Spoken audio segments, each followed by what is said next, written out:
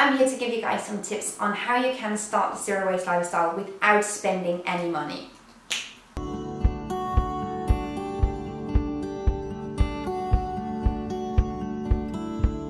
Hello everybody welcome back to my channel. I'm so happy that you wanted to join me today because this topic is something that I've been thinking about a lot because social media is a huge, huge influence and especially on movements like zero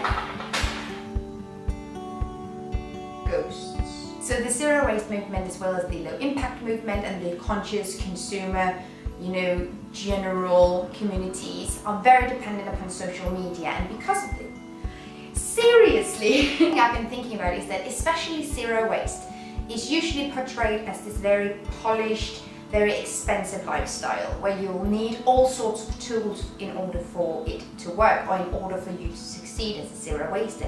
You will need reusable straws, preferably the ones that looks good on social media. You will need a stainless steel lunchbox.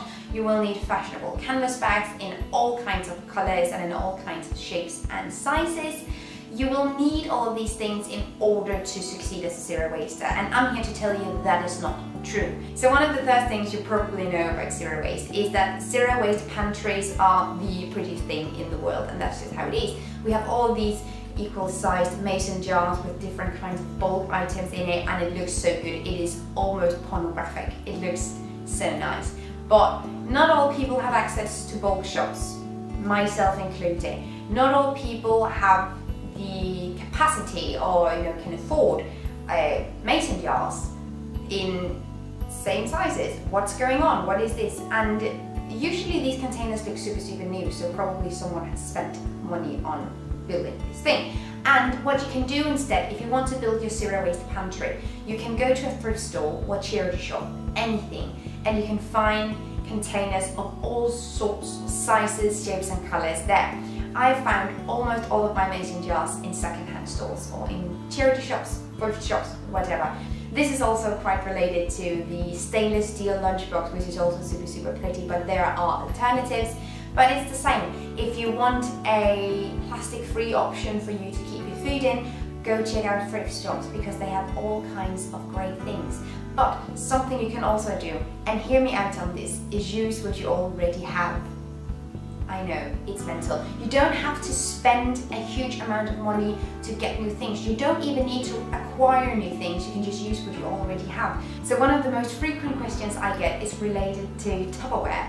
People ask me if they need to throw away their Tupperware that they've had for 8 12 years and I say no use them use them for God's sake because Tupperware is yes it's made of plastic but it's durable as AF and if you like your containers keep them if you spend money on them somewhere and you now like them keep them for God's sake it, don't throw them away and go out to purchase new plastic free things because that's not how it works Okay, one second. So I have a thing.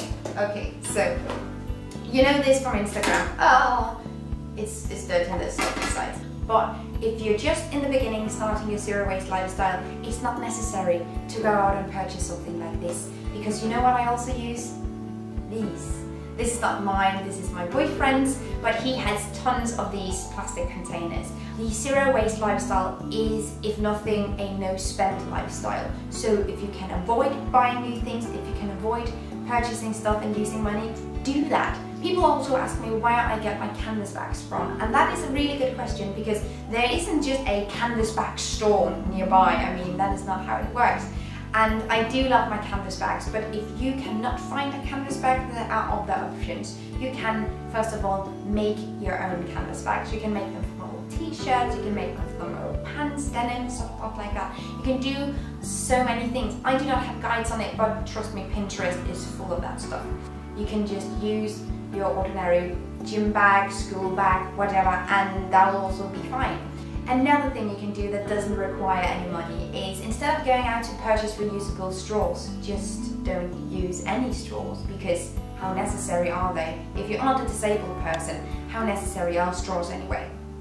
As I said in the beginning of the video, one of the best things you can do in a zero waste lifestyle a tip I generally give to people who want to get started on zero waste is always don't go out and look for new things to buy.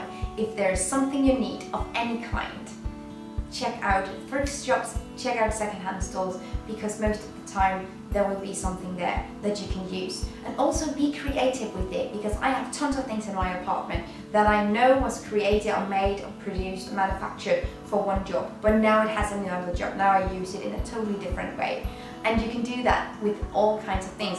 One of the easiest examples is I use the same glasses and bowls I use for food and for drinks, I also use as vases. Because heck, it is not necessary to go out and buy shiny merchandise in order for zero waste to work. That is the biggest thing to remember. And when you do, you can start by creating a small little collection of zero waste items that require no spending whatsoever. I hope that you liked this video guys. If you did, leave me a thumbs up. That would make my day. If you want to see other videos like this, leave a comment down below and tell me do you want to see some zero waste essential videos because I can also do that. This video was made by support from my Patreon supporters. I'm so happy that you guys are here. Thank you so much. If you want to become a Patreon supporter and see all kinds of exclusive details and all kinds of exclusive posts, I will leave a link down below and in this screen as well.